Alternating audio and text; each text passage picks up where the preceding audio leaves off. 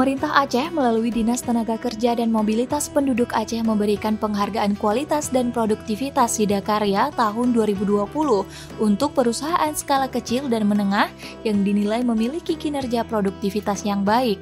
Selain untuk perusahaan, penghargaan Sidakarya itu juga diberikan kepada Bupati Wali Kota yang berhasil memberikan dukungan dan binaan terhadap perusahaan. Penghargaan Sidakarya tersebut diserahkan langsung oleh Gubernur Aceh Nova Iriansyah kepada enam pimpinan perusahaan dan bupati di Hermes Hotel Rabu 9 Desember 2020 malam. Dari enam perusahaan tersebut, tiga di antaranya adalah kategori kecil, yaitu Sivimon G Furniture, jenis usaha spring bed mewakili Kabupaten Aceh Utara, kemudian Ude Maja, jenis usaha pengolahan dendeng sapi mewakili Kabupaten Aceh Besar, dan Ude Mawar Indah, jenis usaha pengolahan tempe mewakili Kabupaten Birun. Sementara tiga perusahaan dengan kategori menengah, yaitu CV2 Prima Lestari, jenis usaha produksi air minum kemasan, mewakili Kabupaten Aceh Barat Daya.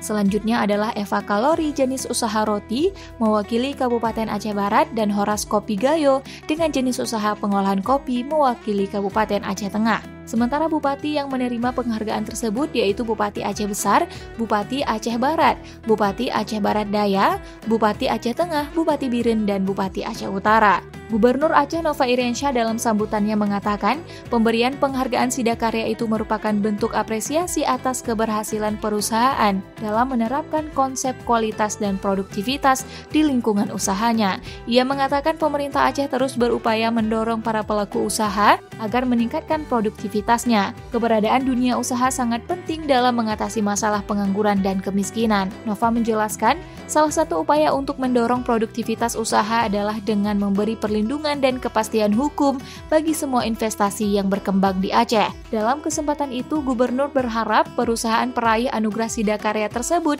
dapat mewakili Aceh masuk nominasi peraih penghargaan para makarya bidang produktivitas tingkat nasional dari Presiden. Sementara itu, Kepala Dinas Tenaga Kerja dan Mobilitas Penduduk Aceh Iskandar Syukri mengatakan, para penerima penghargaan Sidakarya dari gubernur itu nantinya akan diusulkan untuk bersaing di tingkat nasional agar mendapatkan penghargaan para makarya dari Presiden. Iskandar menyebutkan setidaknya ada 18 perusahaan kecil dan menengah yang mendaftar untuk mendapatkan penghargaan Sidakarya. Kemudian, setelah diseleksi oleh tim penilai, maka didapat tiga perusahaan kecil dan tiga perusahaan menengah terbaik.